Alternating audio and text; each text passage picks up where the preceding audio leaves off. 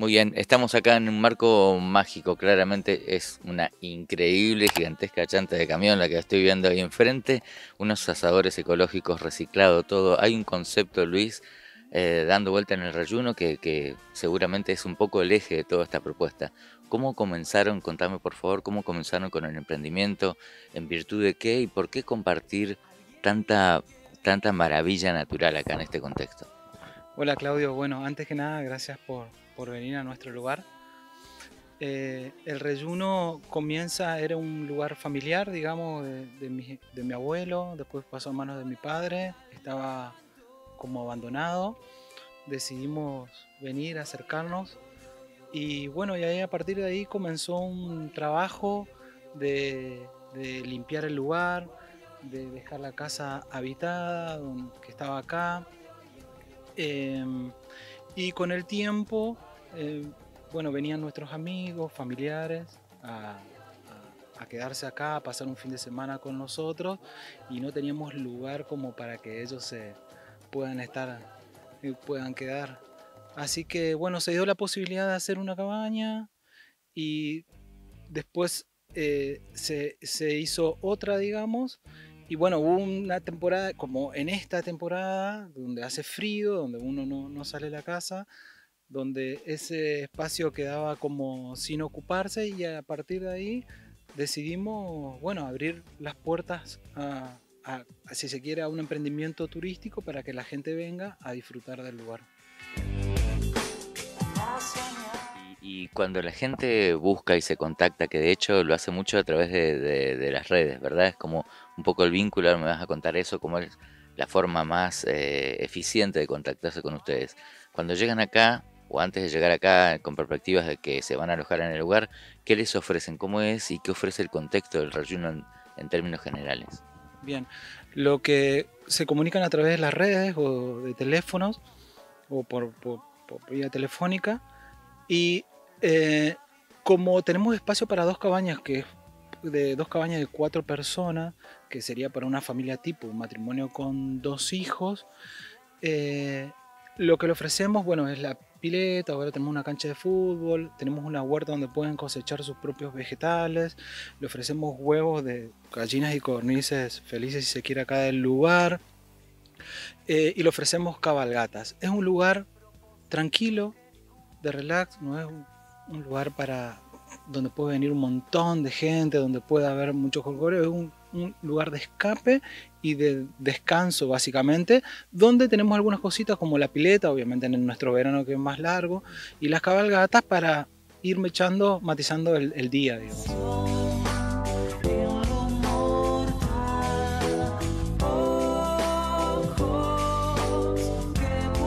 ¿Cómo, ¿Cómo es la manera más sencilla de llegar, Luis? Bien, eh, como bien vos decís, pasando Cerro Corá son 2.000 metros y en una curva y contracurva hay un cartel en la ruta a la mano izquierda en dirección de Cerro Corá hacia Cerro Azul eh, que indica dónde se ingresa y es un camino vecinal de la ruta, son 400 metros hasta la tranquera de entrada imágenes claras que muestran justamente el contexto que dan a entender del por qué elegimos el rayuno como lugar para pasear, para presentar este programa especial con la escuela acá de Cerro Corá. Seguimos con más caridoscopio, te agradecemos un montón. Vamos a seguir visitando y recorriendo lugares que aún no conocemos de este amplio espacio de acá del rayuno. Seguimos con caridoscopio.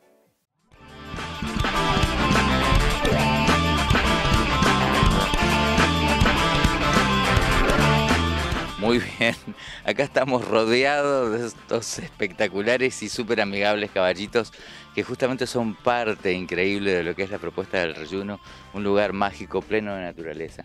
Están todos acá dando vuelta, orbitando, porque saben que voy a presentar un contenido que coincide no solamente con el contexto, con lo que promueve el reyuno, sino que con todo lo que acá vemos. La naturaleza también hace centro en la Escuela 621. Tienen un proyecto medioambiental fantástico y justamente ahora lo narran, lo cuentan y nos muestran su proyecto de cuidado del medio ambiente. Mira. La leche tiene un pelo, seguro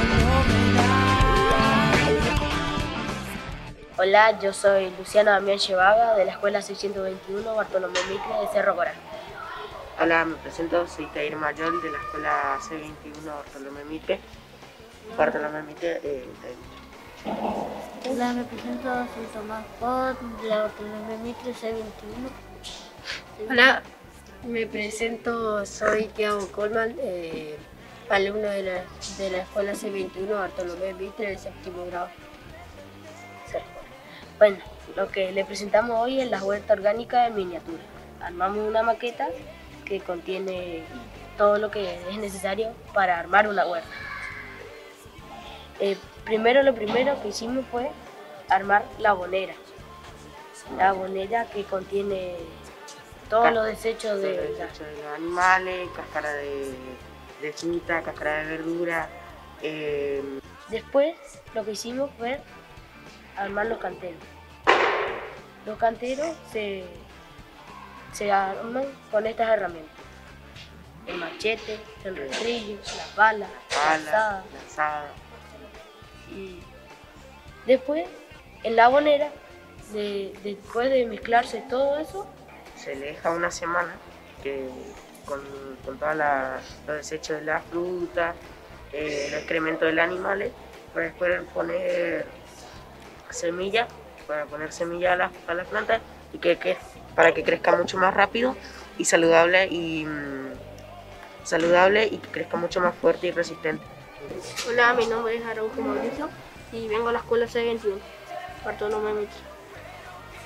Nosotros hicimos el proyecto de la bonera porque es el proceso de alimentación de la huerta orgánica con estos elementos. Y esto, eh, estos son, le mezclamos todo esto con estos elementos, aquí ponemos a la bandera para alimentar a la huerta orgánica. La ceniza usamos para ahuyentar a las hormigas, las cáscaras usamos que mezclamos con el estiércol del, animal, la tierra del monte.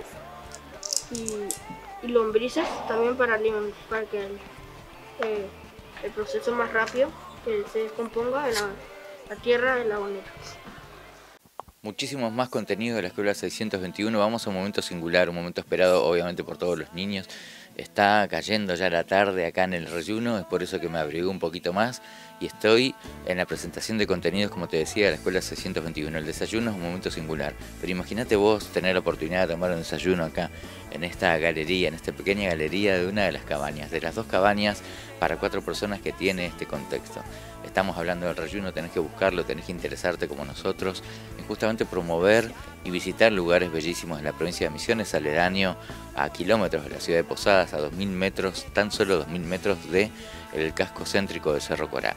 El rayuno, bellísimo lugar, vení, te invito a pasar a la cabaña y mientras tanto vemos cómo los chicos en las 6.21 desayunan. Vení.